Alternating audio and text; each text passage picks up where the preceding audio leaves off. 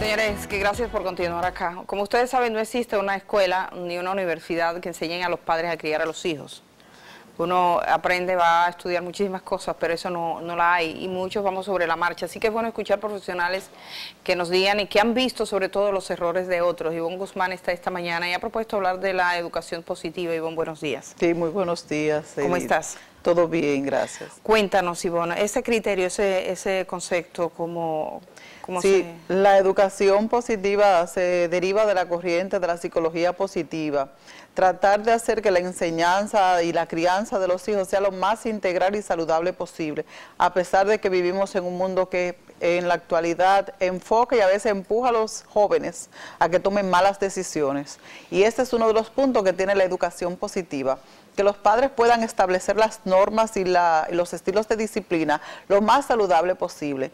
Muchos padres entran en las creencias erróneas y decir que son los amigos de sus hijos, los mejores amigos de sus hijos, y eso es un error, porque en la crianza de un hijo no hay un sistema eh, simétrico, sino asimétrico.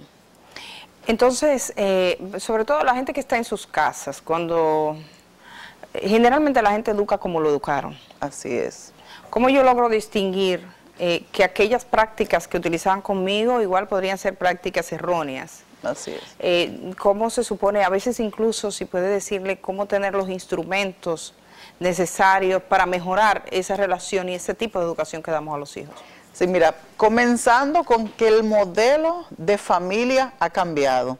Y no podemos pensar que el modelo de crianza que fue utilizado con nosotros y con nuestros padres es el mismo modelo que vamos a utilizar con estos jóvenes que están en la actualidad y con estos niños. ¿En qué ha cambiado? Antes teníamos una familia que era nuclear, que estaba formada por mamá y papá. Sin embargo, en la actualidad los modelos de, de familia han cambiado, que los padres están fuera del país, de que hay una madre que es divorciada, no una vez, sino dos y tres veces, que el papá es un padre ausente Muchos piensan, Edith, que la separación genera el trauma en los hijos y aclaramos un poco. Lo que genera el trauma en los hijos en el modelo de crianza no es tanto la separación, sino la conflictividad que trae la separación. Porque en ah, una familia que hay violencia, en una familia que hay alcoholismo, en una familia que no tiene los límites bien definidos, evidentemente que ese niño va a tener un estilo de crianza generado por trauma.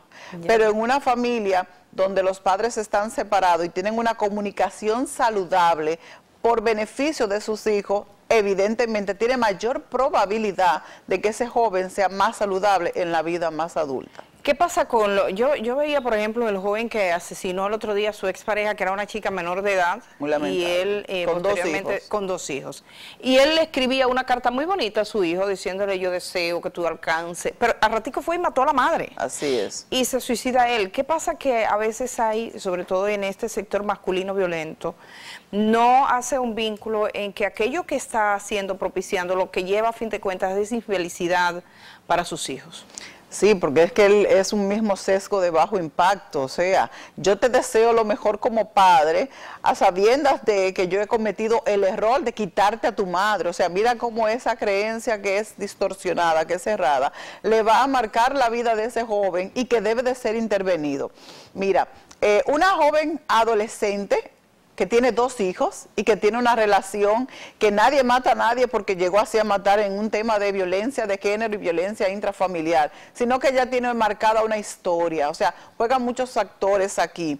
Y la sociedad y la familia debe de ir entendiendo y modificando cuáles son los paradigmas saludables para intervenir estos casos. O sea, esta joven que murió en manos de una pareja, una expareja, con dos niños, ese joven tomó una mala decisión, pero investigar qué hechos en su antepasado cometieron los padres, la comunidad, las señales de las conductas que son negativas, la disciplina, el estilo de crianza, el estilo educativo, o sea, son muchas variables que determinan el comportamiento de un ser humano.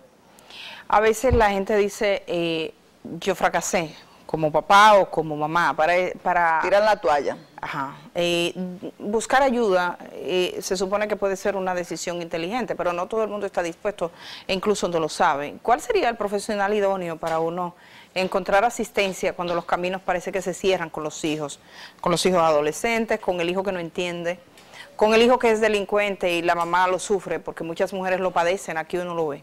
Así es. Mira, eh, lo primero es el reconocimiento de que no tengo las competencias para manejar la disciplina ni las normas en mi hogar reconocer de que necesito el acompañamiento de un profesional del área de la salud mental, un psicólogo, un consejero eh, familiar, un médico familiar que tienen ya especialidades para eh, trabajar la dinámica familiar, la dinámica en la familia.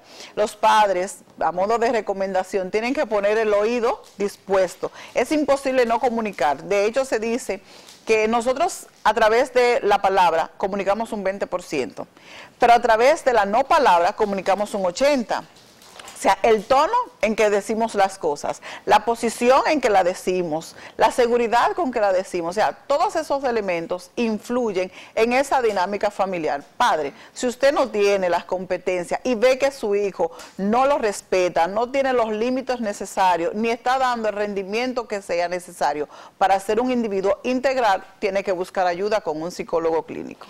Y bueno, eres parte de un proyecto de precisamente de psicólogos. es bueno que le diga a la gente dónde están ustedes. Sí, nosotros estamos ubicados en el Centro Profesional Psicólogos Unidos. Estamos en la Avenida Bolívar, esquina Leopoldo Navarro. Y pueden contactarnos a través del 809. 688-5292. 809-688-5292. Y en las redes también. Y en las redes, Ivonne Guzmán, ¿así te encuentran? Ajá, Ivonne Guzmán eh, y Guzmán Cerda en Instagram.